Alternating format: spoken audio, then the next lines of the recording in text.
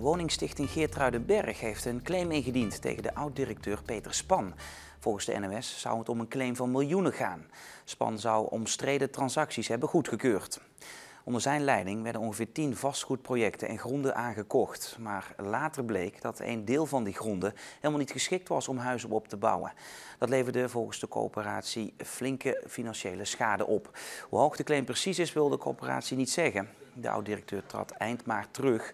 De woningstichting staat er financieel slecht voor, want in 2010 was er een verlies van ruim 60 miljoen euro.